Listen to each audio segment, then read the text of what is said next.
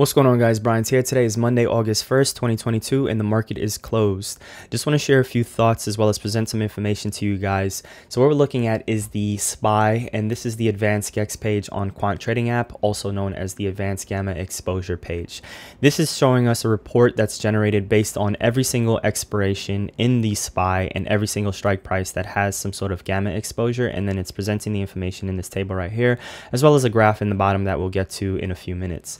Now, I want to point out some key levels. If you don't know anything about gamma exposure, don't necessarily worry about that. It's more so about the levels right here. I've done other videos on gamma exposure and I will be doing plenty more as well as some basic and introductory levels to kind of expose this type of information to some newer traders. But as we scroll up, the first thing to take away right now is the market is currently in a positive gamma state. So if we were to scroll down, this little knob right here, this little button is just letting us know that this is what's referred to as the gamma flip or the zero GEX level.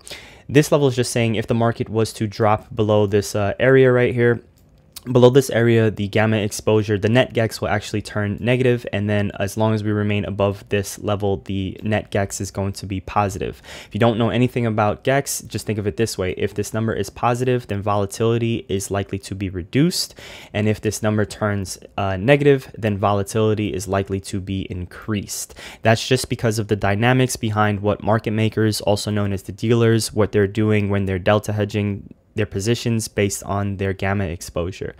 So as we scroll down, uh, think of it also this way as uh, as I as for the rest of this video, think of this uh, largely as support and resistance, as that might make it a little bit easier for you guys. The last traded price of the SPY was 410.83 when this page was uh, generated. And as we can see right here, this is the closest strike price. So that's why this is highlighted as yellow.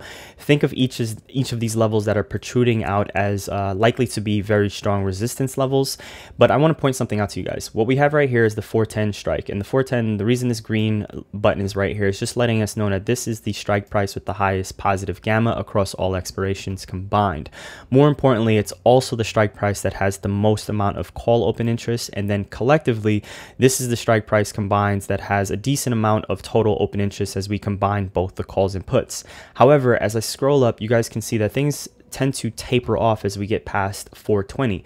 Now we do see that there is a decent amount of gamma exposure here and then the 425 level, it pokes out a little bit, but nothing in comparison to the 420 level right here.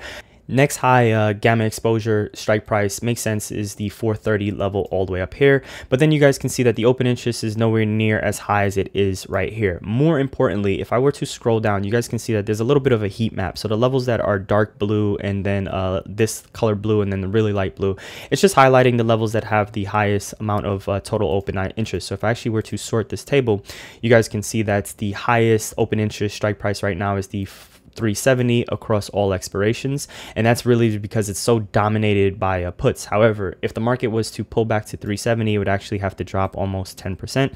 So 9.94% to be uh, exact. If we were to sort this back by the actual strike prices, as I pointed that out to you guys, you guys can see now if we scroll down, there isn't really much open interest as there's nothing really highlighted blue past this strike price of 420 right here because if there was something that's highlighted blue it means it would be in the top 10 uh, high open interest strike prices because this is the highest two then this is the next highest four and then the next highest four. So combined these are the top 10 highest strike prices on the market right now and we can see that most of them are dominated by a negative gamma exposure.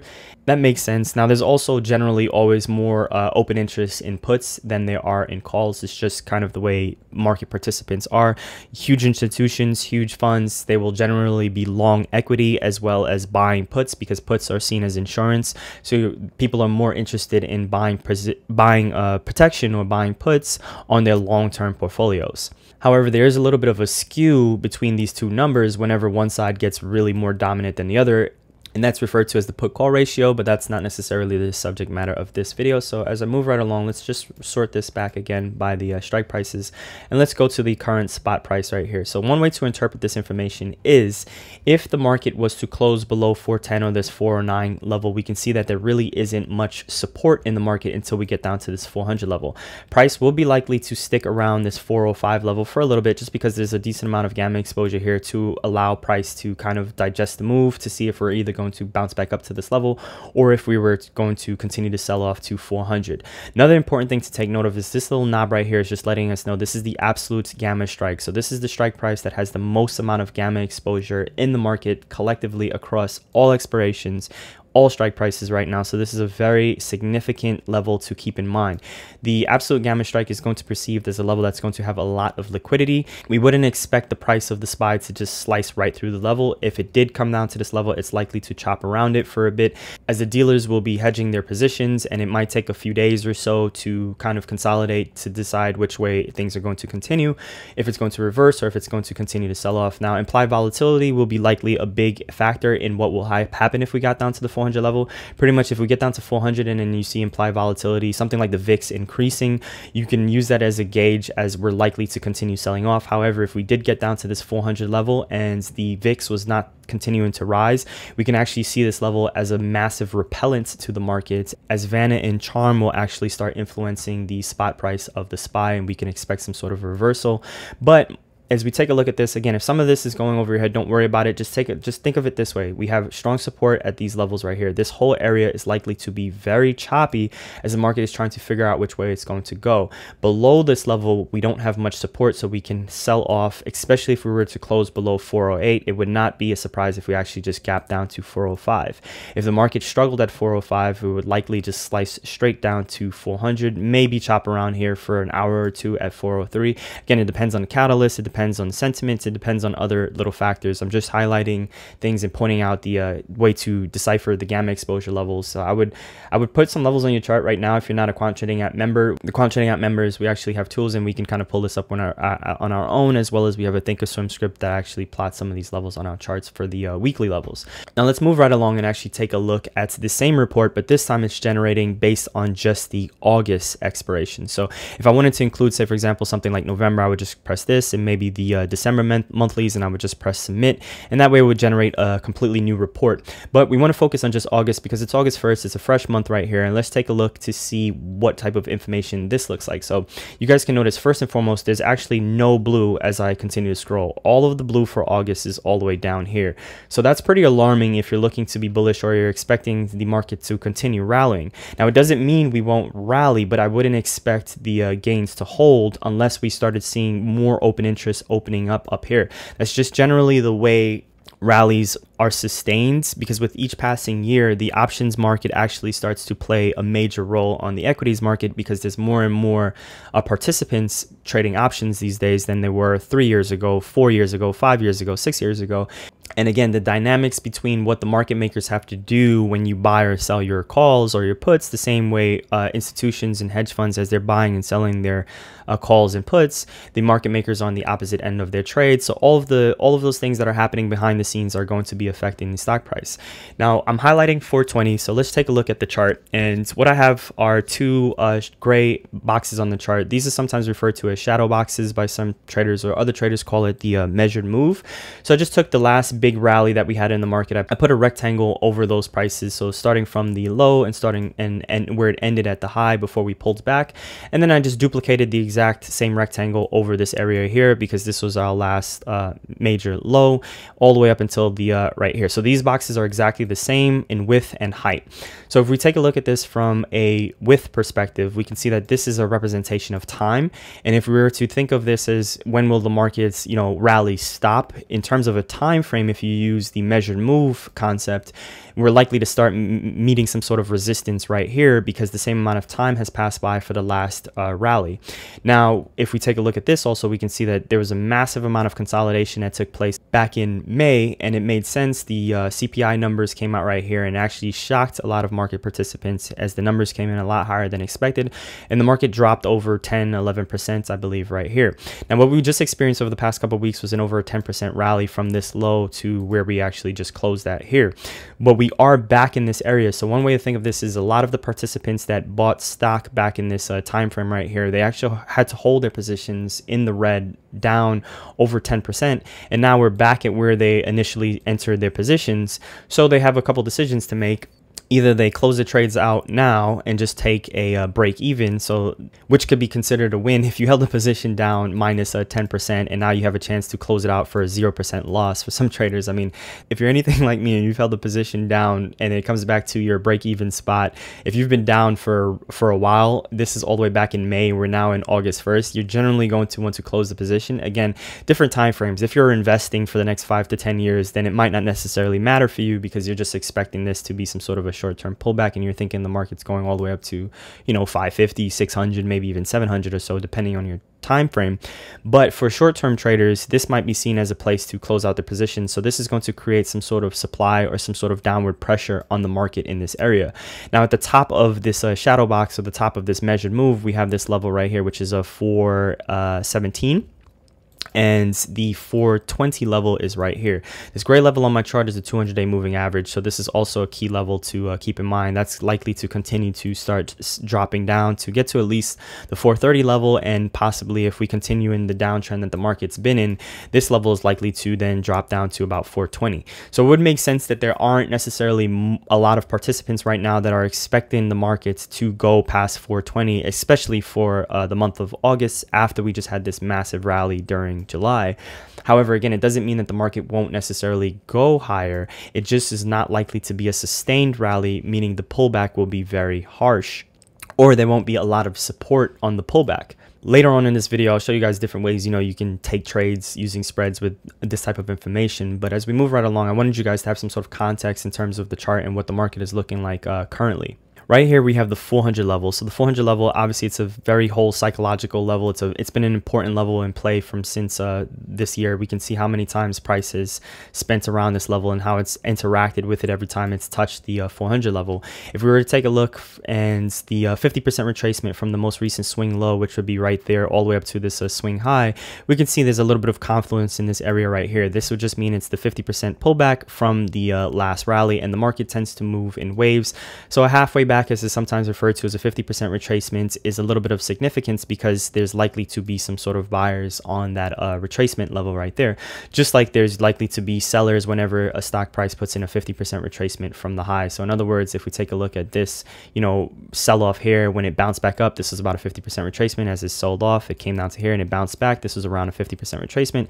Sold off, it bounced. This was about a 50% retracement. So I'm not going to draw out every single one, but just wanted to bring you guys, bring that to your attention in case you guys were not aware of that. So you see here's our uh, high, market sells all the way off, and we bounce, we came back to 50% retracement before we sold off again and so forth. You guys can do that on your own.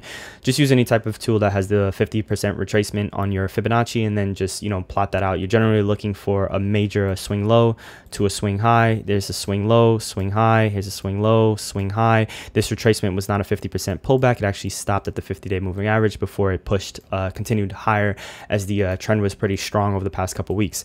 Now, as we jump back to the gamma exposure page and we're looking at it for the month of August, we can see the same type of information here. The 410 level likely to hold as some sort of support. However, if the market closes below 410 on any given day, we can make the assumption we're probably going to go a little bit lower if it fails to reclaim this level. It's very significant because it, one, the 411 strike, and again, you think of the zero gex level or the gamma flip level as an area. So think of it as anywhere between 410 to 412 as, as it's likely to change every passing day as open interest and things uh, um, change. But if you think of it as an area, you can see it right here on the chart. There really isn't much positive gamma below this strikes. And then we have the confluence right here with for the month of August as this uh, report was generated. Again, this is likely to change because as the spot price changes, the gamma exposure will change. So that's why it's important to check this type of information you know, a couple times a day, pre-market, after hours, in the middle of the day, during the lunchtime. If you're aggregating multiple uh, strike prices or multiple expirations, you generally want to check this a couple times a day.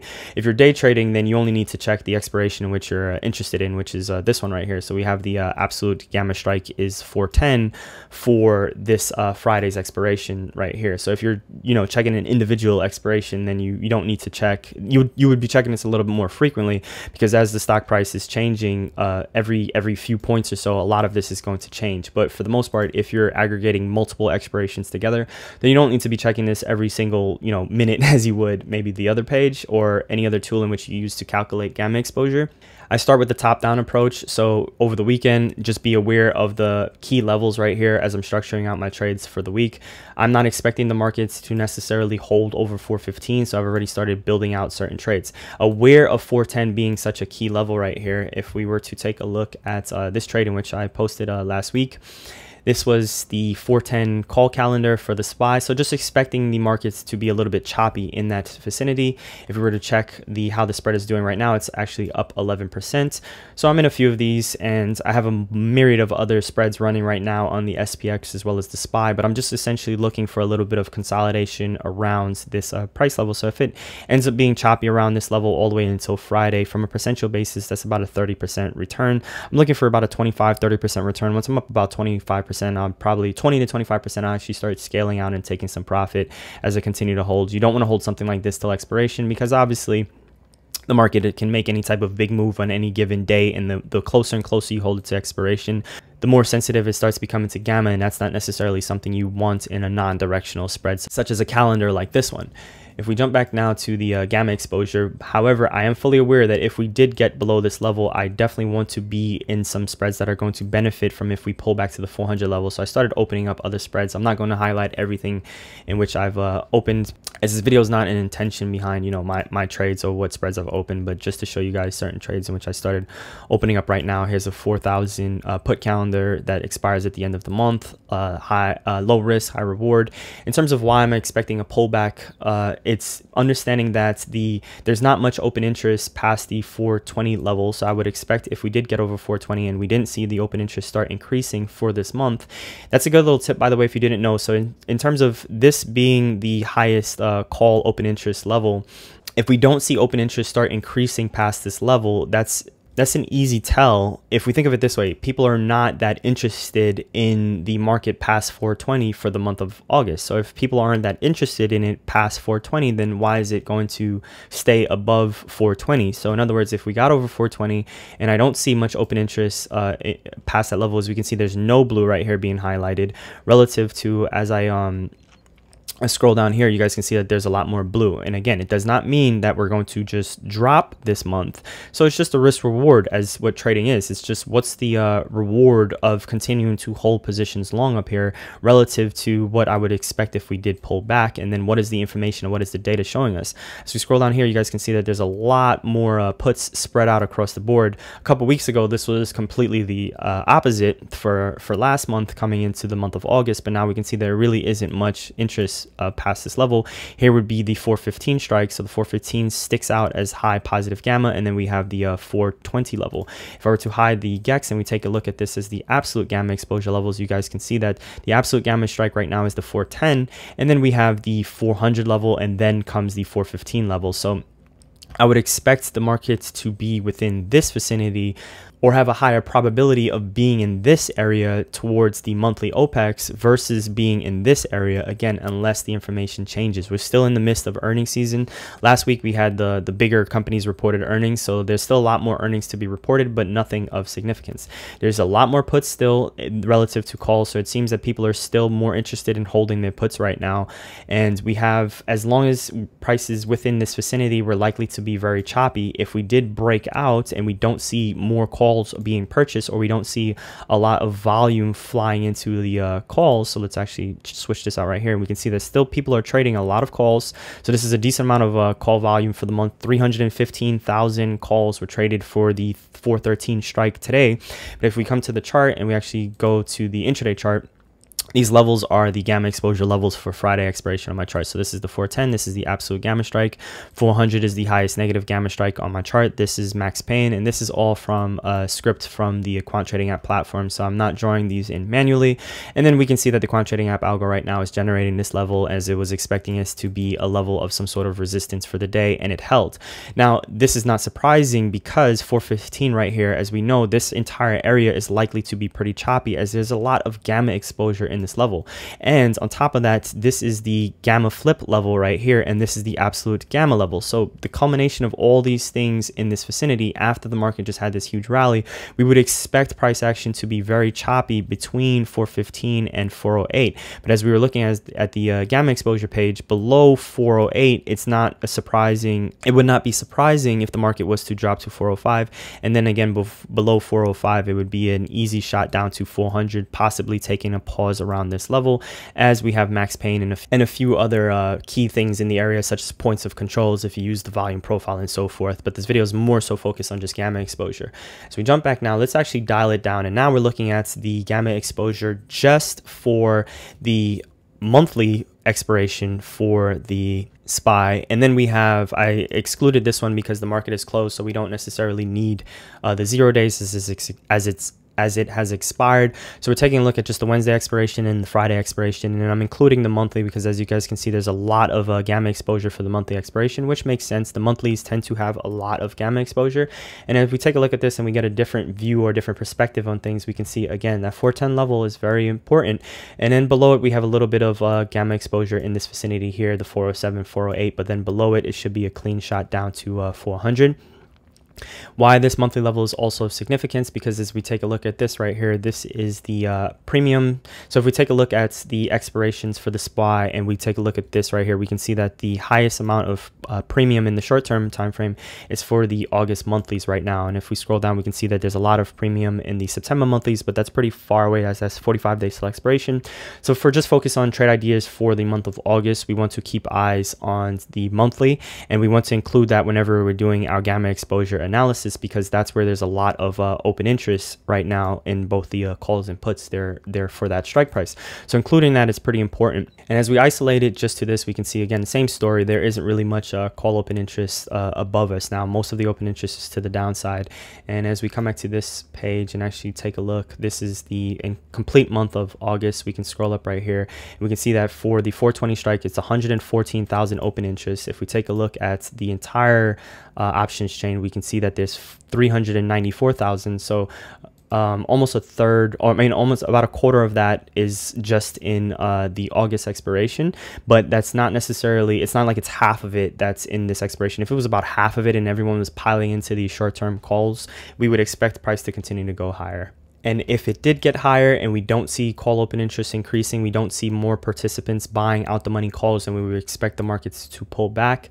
So running some sort of bear call spread would be a good idea. A bear call spread would be you would short the 420 call and then possibly buy something like the 425 call and expect it, you know, go 30 days till expiration or so and expect the markets to pull back and be below the strike price. The market tends to reverse around these monthly expirations. So that's why for me, I'm structuring a lot of my trades and I'm going a little further out with them. I'm, I'm targeting targeting spreads that expire the end of the month or targeting the uh, monthly expiration because as the market uh, rallies, let's just say we continue to rally, as we go into this monthly expiration, we'll either pull back going into the expiration or a few days after the expiration. So I want to make sure I'm giving my positions a decent amount of time. And if we do pull back to the level in which I would ideally want us to pull back to, which would be 400, things would be great based on the way in which I'm structuring my trades. But 405, which would be 450 on the SPX, which is what I mostly trade. I use the SPY usually when I'm doing most of my uh, analysis. But my instrument of choice to trade is actually the SPX. So to recap things, we point out we have a high absolute gamma at 420 at 410 sorry for for august. And if we were to sort this by the absolute gex strikes we can see that the next highest gamma exposure strike is 400 so we have 410 and then we have 400 and then we have 415 so pretty choppy within this vicinity.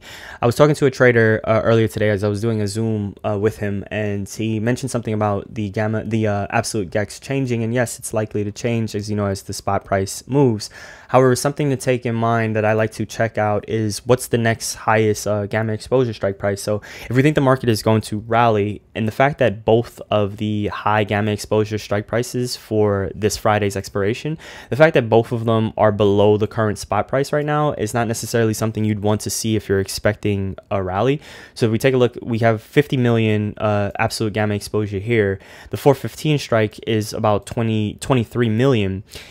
In order for this to become the new absolute gamma strike obviously the the market would have to rally closer to 415 but it's such a big it's it's about half of the value of this one right here. So this is not necessarily a, a, a data point or it's not necessarily something that would support the bull thesis if you're expecting the market to rally.